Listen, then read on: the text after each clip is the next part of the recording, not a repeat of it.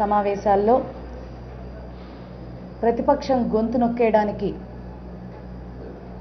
అధికార పార్టీ చేసినటువంటి పన్నాగాలు అన్నీ ఇన్ని కావు. ప్రతిపక్షాన్ని ఎదుర్కొనలేక అధికార పార్టీ సభ్యులు ప్రతిపక్షాన్ని దూషించేటటువంటి నేపథ్యంలో పశ్చిమ నియోజకవర్గ గౌరవ విపక్ష ఎమ్మెల్యేని చేతకాక ఎమ్మెల్యే అనేటటువంటి ఒక మాటతో సభని రసాభాస చేయటమే కాకుండా గౌరవ సభ్యుడికి మర్యాద ఇవ్వలేకపోతున్నారని ప్రతిపక్షం గొంతు విప్పి నిలదీస్తే మీకు సమాధానం చెప్పాలా?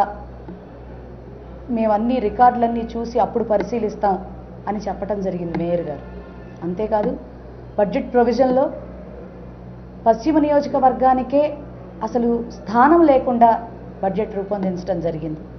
ఈ రెండు విషయాల్లో కూడా మేము కౌన్సిల్లో నిలదీయటం జరిగితే దుర్భాషతో అధికార పార్టీ సభ్యులు వాళ్ళ యొక్క పన్నాగాన్ని పన్ పన్నారు.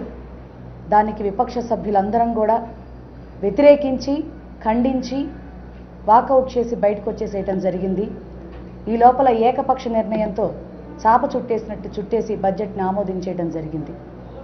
దాని తదనంతరం ఒక వన్ అవర్ తర్వాత నా కుటుంబంలోని ఒక శుభకార్యం నిమిత్తంగా గౌరవ సభ్యుల్ని పిలవడానికి నేను అక్కడికి వెళ్ళినప్పుడు గౌరవ ముఖ్యమంత్రి గారి కేక్ కటింగ్కి అనుకోకుండా ఫ్రాక్షన్ ఆఫ్ సెకండ్స్లో యాదృచ్ఛికంగా మేయర్ గారు చేయి పట్టుకుని అందరికీ ముఖ్యమంత్రే అందరూ ఉండాలని చెప్పని అటు సిపిఎం ఫ్లోర్ లీడర్ గారిని ఇటు నన్ను కూడా పిలిచి ఆ యొక్క కార్యక్రమాన్ని చేశారు. అయితే ఈ యొక్క కార్యక్రమానికి సంబంధించినటువంటి ఫోటోగ్రాఫ్స్ని అధికార పార్టీ సభ్యులు కొంతమంది వాట్సాపుల్లోనూ ఇటు మీడియా వారికి కూడా పంపించి రాంగ్ ఇన్ఫర్మేషన్లు ఇచ్చి ప్రతిపక్షం అధికార పక్షంతో కలిసిపోతుందన్నటువంటి దుష్ప్రచారం చేయటానికి పన్నాగాలు పన్నుతున్నారు దీన్ని నేను తీవ్రంగా ఖండిస్తున్నాను. దీనికి తప్పకుండా మేయర్ గారు నైతిక బాధ్యత వహించి తీరాలని హెచ్చరిస్తున్నాను. నా పార్టీ పుట్టుక వైఎస్ఆర్సీపీ మా నాయకుడు జగన్మోహన్ రెడ్డి గారు. మా ఎమ్మెల్యే గారు పశ్చిమ నియోజకవర్గ విపక్ష ఎమ్మెల్యే గౌరవ శాసనసభ్యులు జనాబ్ జలీల్ ఖాన్ గారు. ఈ ఐదు సంవత్సరాలు కూడా అధికార పార్టీకి ఎప్పుడూ లొంగేది ఉండదు.